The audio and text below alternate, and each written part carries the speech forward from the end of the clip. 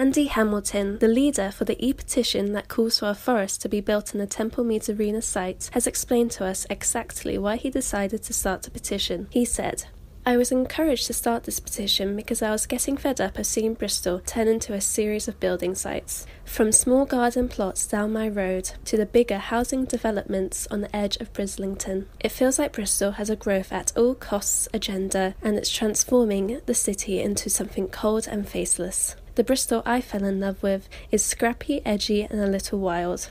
I wanted the green capital to mean something, and for Bristol to serve as an example of what cities could be if they thought about their spaces in a different way.